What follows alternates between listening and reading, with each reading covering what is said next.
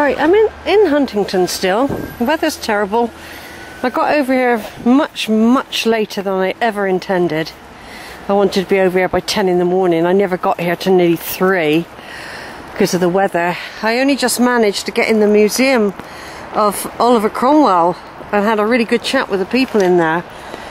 Uh, someone shut the church, which should have been open with a shop and everything, really early. They'd shut that church. I was quite alarmed, really. It was only quarter to four, and they shut it already because of the weather, I think.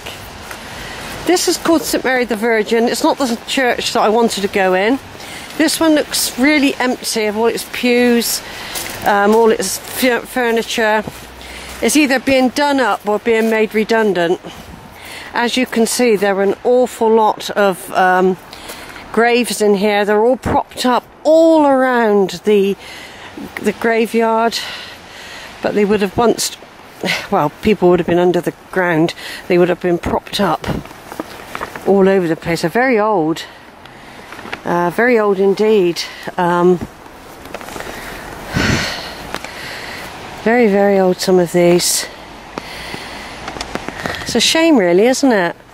People just haven't got the money or the time to preserve everything anymore. It's a shame because it is an era of gravestones. Um, you don't get them back in the 16th century or anything like that. This is like a whole couple of centuries worth of people's stones here. Um, you know, and you, you can see they're sort of Victorian with all the decoration on with the angels and the um, ribboning effect, you know, like whatever. They're very, they're very Victorian, yes, it's true. These particular ones. But it's like a whole load of them. So you've got the crossbones and the skull. Um, you've got the urns, very Victorian there with the decoration around it. That was a John Baker look. Some of them, have, you can still read them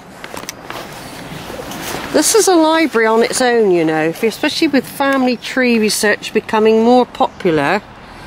People will be looking for their ancestors in gravestones, just like I do. Not that I've got anyone I know from here.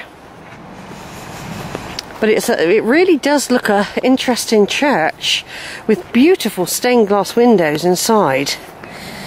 Um, it doesn't look like it's been open for a while. It's either been done up or done down. Um, you know, it's this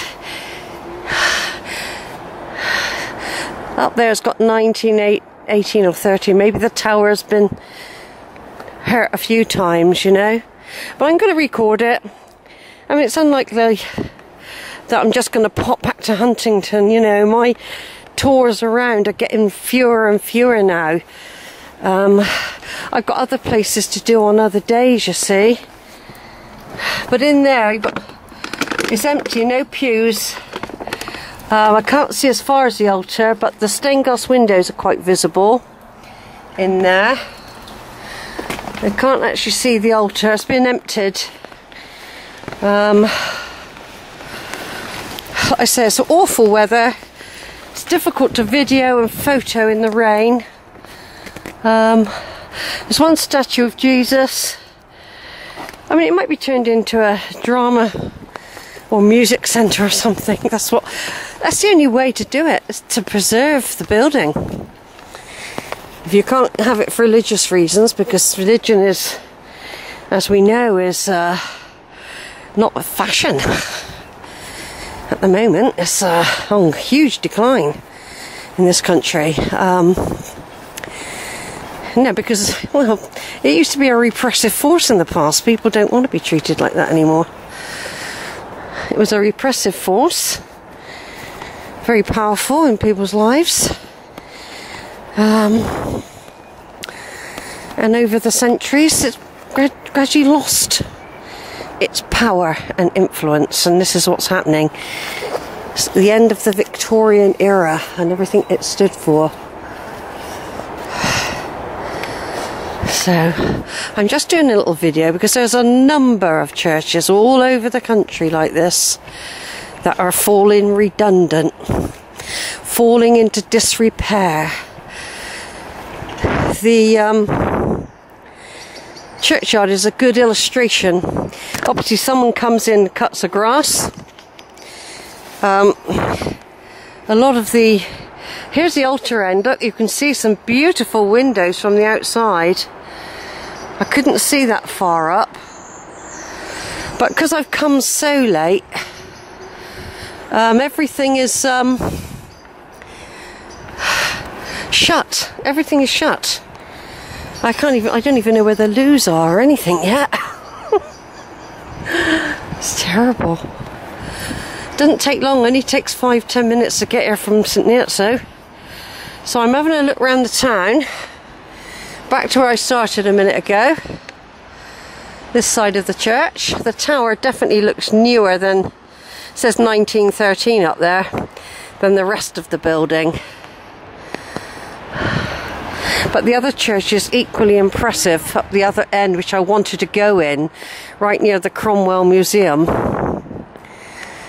But it's shut. They shut it so early. You know? They shut it way before four o'clock. that's the end of that church by the look of it. It needs a lot of repair work.